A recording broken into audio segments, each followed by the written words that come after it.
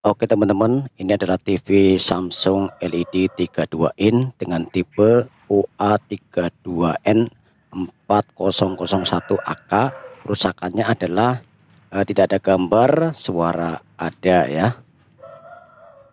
Nah kebetulan TV ini sudah saya buka ya teman-teman untuk casingnya. Tinggal saya angkat di bagian layarnya seperti ini ya teman-teman.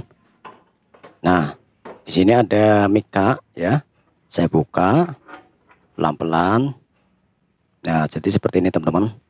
Dan tinggal ambil untuk uh, sebuah mikanya untuk mengambil backlit ya ataupun akan mengganti sebuah backlit ya teman-teman. Nah jadi ini caranya saya akan tes terlebih dahulu sebelum saya ganti agar mengetahui mana lampu LED yang mati ya teman-teman menggunakan sebuah aki motor ya ukuran 12 volt dan tinggal saya pasang untuk kabelnya seperti ini teman-teman. Ini adalah bagian negatifnya. Dan satunya lagi adalah bagian positifnya seperti ini teman-teman. Dan selanjutnya kita akan coba ya saya coba satu persatu ini mengecek backlit mana yang mati ya? Ini saya coba cabut dulu untuk jalur backlit yang ada di atas. Sistemnya ini adalah seri ya teman-teman. Untuk cara mengetahui kerusakan backlit pada TV Samsung LED nah kita coba tes ya teman-teman. Dilihat agar kalian bisa mengetahui. Nah di situ ada dua lampu LED masih hidup. Kita pindah ke sebelah kanan. Kita coba tes. Saya coba tes uh, dua biji lampu ya. Ini satunya nyala satu lagi nyala. Dan saya coba tes tiga lampu ini. Ternyata tidak nyala ya teman-teman. Lihat kalau tiga lampu tidak nyala berarti ini menandakan lampu yang paling ujung kanan ini mati.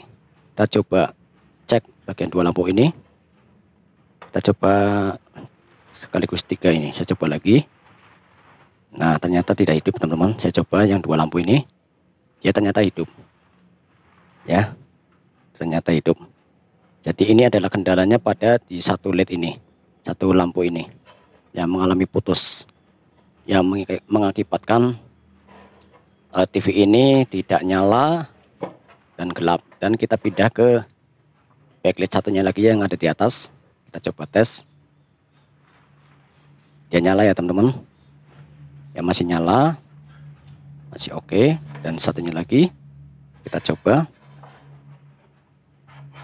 Saya, saya coba tes uh, dua lampu ya.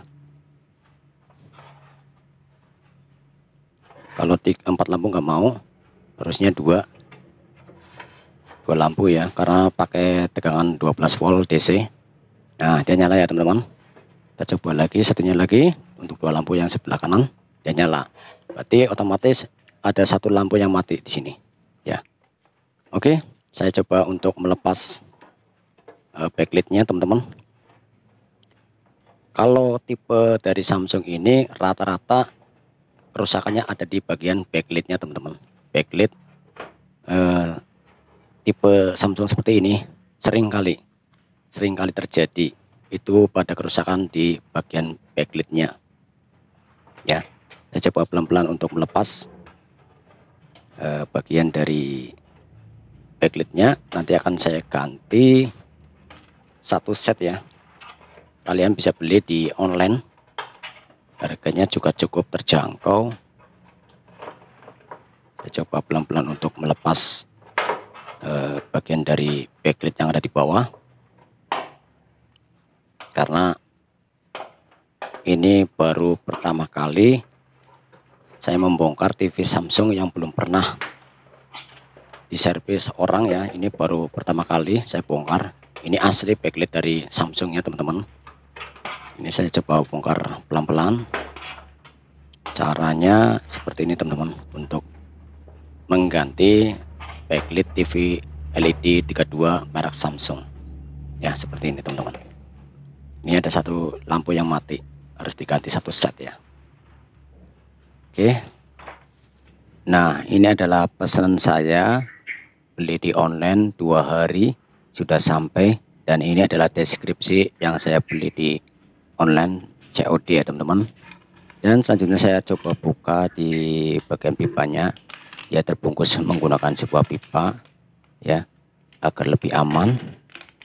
Ini adalah satu set untuk backlit TV LED 32 merek Samsung. Nah, ini sedang saya buka. Ya jadi bentuknya sama ya teman-teman. Dengan aslinya cuman harganya 70.000 ya.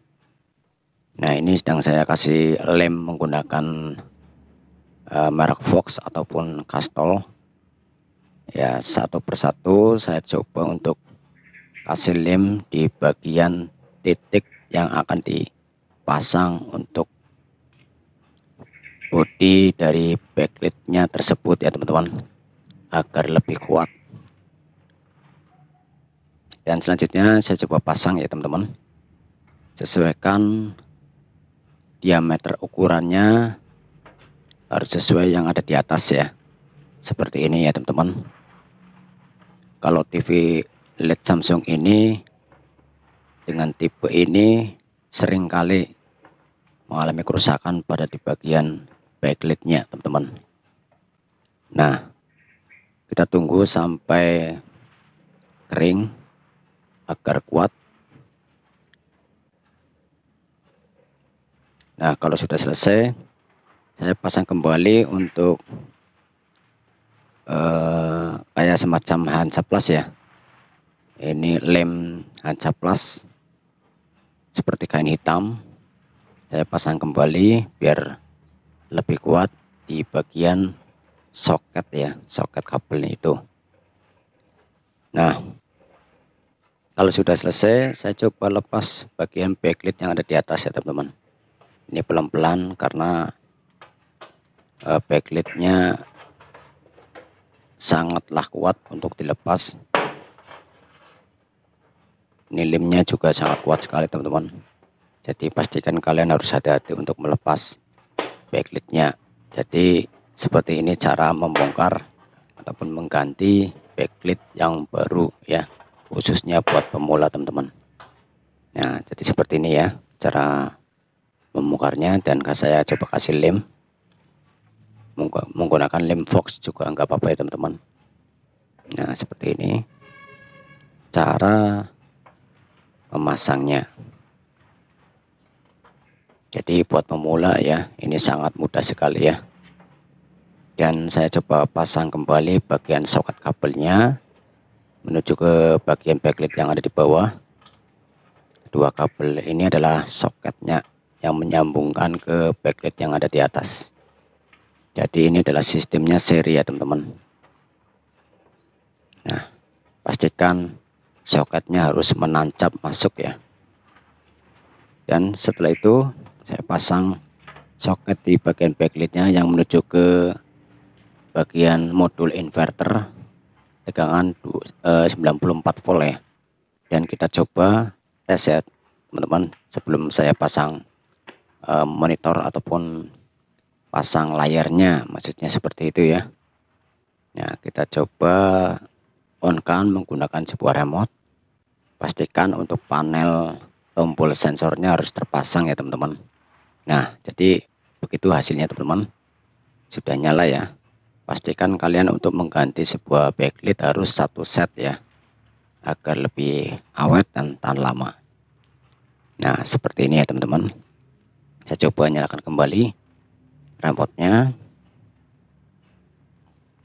kita coba nyalakan kembali. Nah jadi sudah normal ya dan sempurna. Semoga tutorial kali ini bermanfaat buat pemula khususnya ya teman-teman. Dan kita coba tes hasilnya. Ini bulan TV sudah saya pasang untuk bagian layarnya dan casingnya sudah terpasang rapi ya. Dan kita lihat hasilnya teman-teman.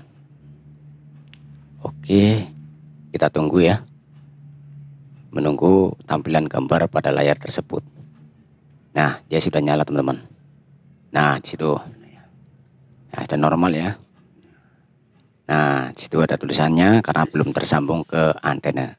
Oke teman-teman, semoga bermanfaat dan terima kasih.